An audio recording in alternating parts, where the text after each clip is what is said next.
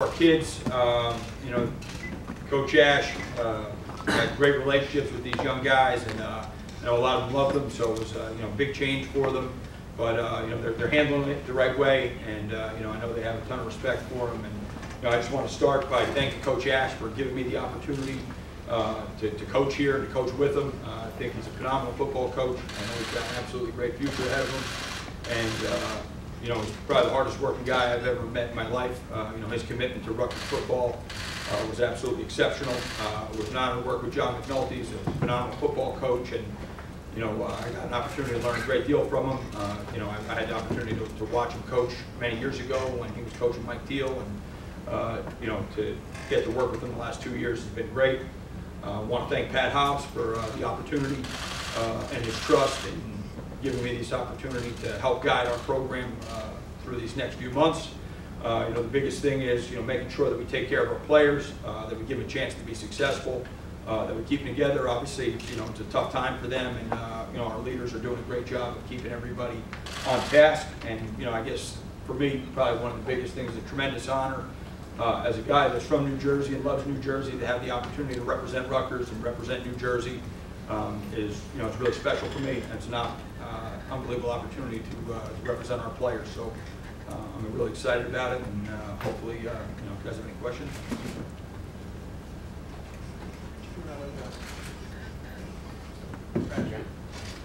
What, what's the last 24 hours so been like for you? I mean, what did you kind of find out this was going to happen? What have you done since then?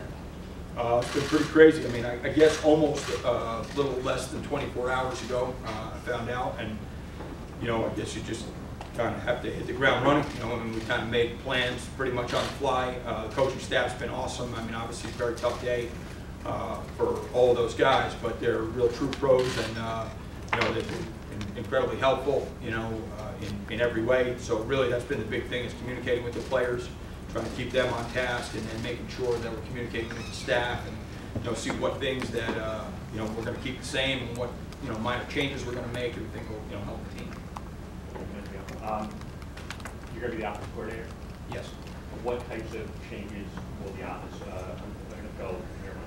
Well, you know, I don't think you can make, you know, major overhauls. I mean, we have, you know, basically five days to get ready for a game. So, uh, you know, it's kind of a lot of it just streamlining what we do, making sure that the players understand what we do, you know, maybe some minor tweaks in the way that, you know, that I see things and, you know, communication with, uh, you know, our entire offensive staff. We have a bunch of guys that are really close in there.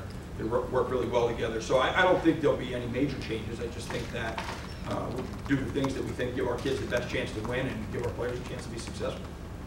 Because you, a lot of times, at any level in sport, when changes like this are made, um, you know, can go one of two ways. Sometimes it sparks guys, sometimes it doesn't.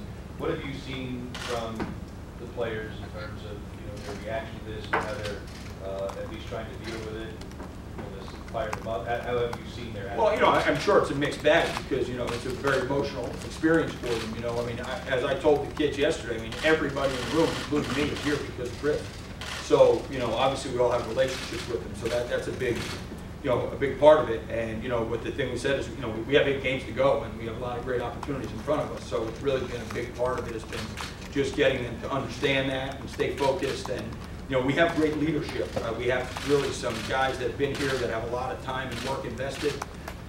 And they've done a great job, our leadership council and our captains have done a great job of communicating with the young guys and just telling them, hey, let's stay the course and let's, you know, go figure it out over the next, you know, two plus months and then, uh, you know, we'll, we'll go from there.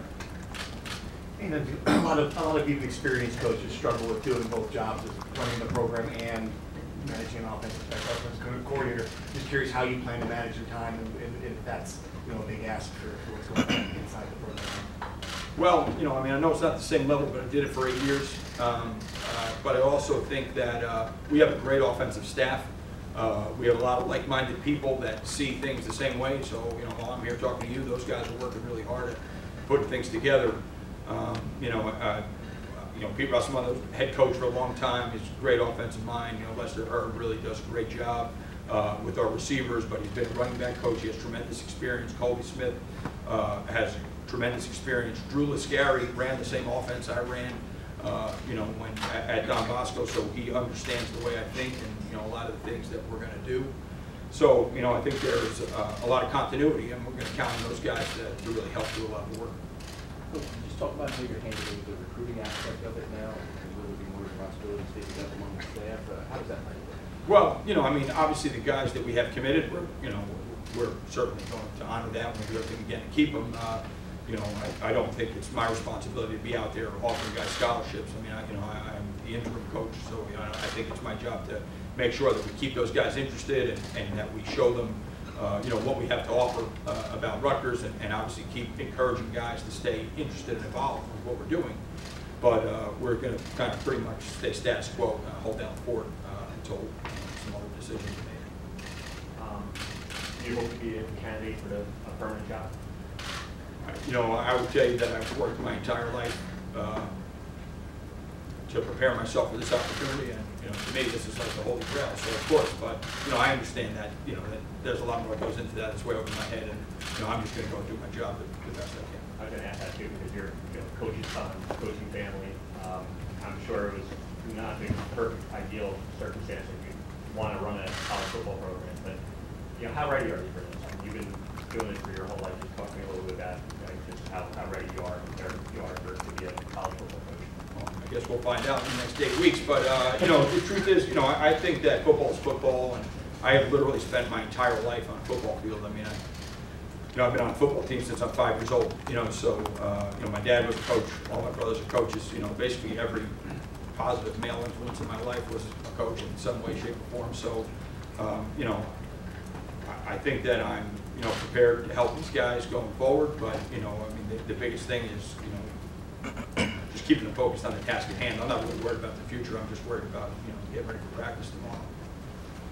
Is Art your quarterback? And you're obviously very familiar with Johnny, is he going to, you know, feature him more to the offense? Well, yeah, Art, I, you know, I've already told him, you know, Art's, Art's gonna start the game, and, you know, uh, we'll see, you know, some of the stuff that Johnny does well. Obviously, I have a tremendous amount of familiarity with him, and, you know, I've told, uh, the quarterbacks already, you know, if there's a role that he could play that helps us win games, then we're absolutely gonna do that too. But, you know, I think Art's played really well the last couple of weeks. I think he's shown great improvement. Uh, he's worked really hard, and I think, you know, the biggest thing is those two guys are great friends. Uh, they're both really good leaders, and, uh, they're gonna work really hard to help each other. So just to follow up with Art, you don't anticipate him redshirting, he's gonna play the fourth game this weekend. I, I do not Okay. Um, I just wanna make sure, you're calling the plays, right? You haven't come out and said that, so I just wanna. Yes. Okay. Um, Any other staff changes? I know you, have John and Drew, but are you are you adding anyone to the staff? Uh, not, re- not, I mean, I don't know from the outside, I mean, you know, uh, I guess, you know, we could shuffle some things around inside, but, Um, Who's going to handle the tight end responsibilities now? And will, uh, McLean Carter, do you have an update on his status? uh, John Weiss will handle the tight ends, and, uh, I actually don't have an update on McLean, I, you know, he's not going to play this week, I know that, you know.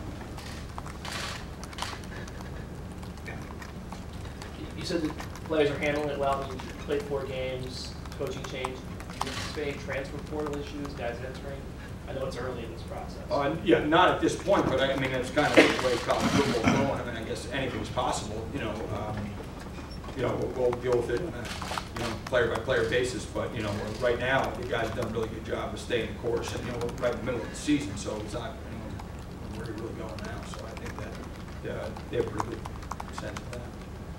Obviously, this is an odd position to be in so early in the season. I'm just curious, this is a home game, you've got several home games left. And what would you say to the paying customers, the fans who are going out, we're looking inside saying what's going on in there? What would you say to them who come to the stadium? Well, I would say, you know, we got a great group of kids that are working really hard. Uh, They're going to play really hard on Saturday.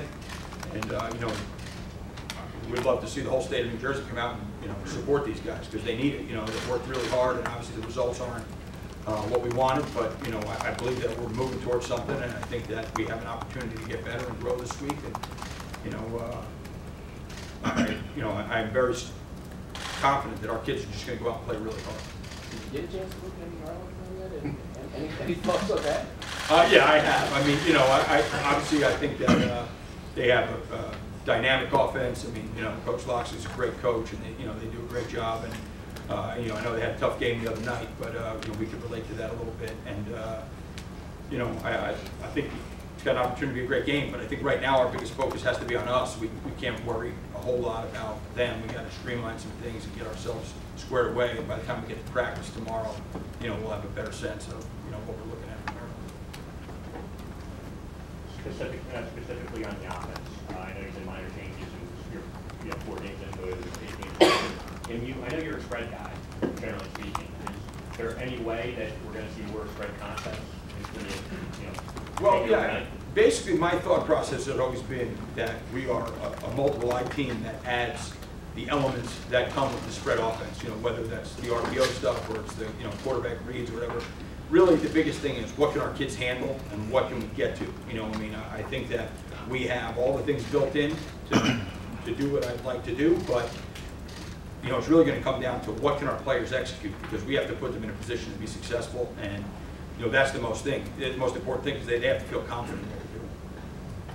When you mentioned about Maryland, you said, you know, our biggest focus right now has to be on ourselves. You're referring more to the game plan and the, uh, you know, improvement week after week, not the side stuff about know, coaching all that kind of stuff. You're talking about game stuff, right? Yeah, I mean, I'm talking about, okay, what we're gonna do to go out and try to win a game on Saturday, I mean, we have to, you know, make sure that our house is in order and that we understand what we're doing, and, you know, I, I- think, uh, you know, Andy's got some plans for the defense that, you know, he thinks, okay, these might be some minor things that we can do to help our players, we do the same thing on offense and same thing on special teams, so, once we have, uh, a good sense of that, then, you know, we'll really worry about the other